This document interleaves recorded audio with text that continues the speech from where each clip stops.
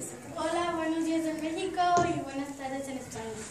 Mi nombre es Harumi y quisiera hacerles una pregunta. ¿Qué hora es ahorita en España?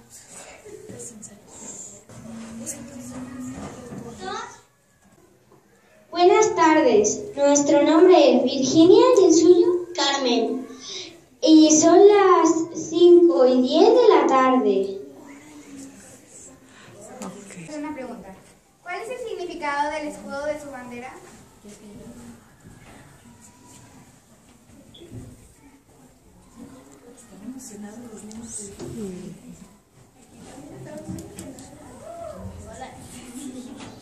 Buenos días, mi nombre es Rocío y el mío Teresa.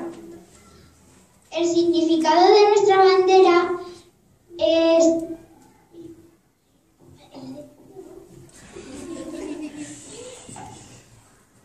La bandera de España está formada por tres rojas franjas horizontales, roja, amarilla y roja. La última vez que se modificó fue cuando se aprobó la Constitución de 1978. eh, eh, aquí en México y buenas tardes allá en España. ¿Cómo es un día típico de la escuela allá en España?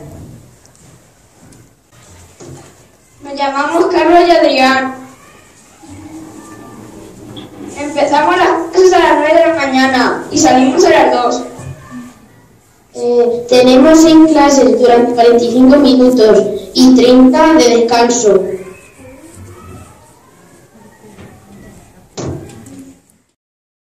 Las comidas de toros de invierno se celebran únicamente en las plazas cerradas. Se consideran una tradición española, aunque últimamente están surgiendo grupos que están en contra de los toros.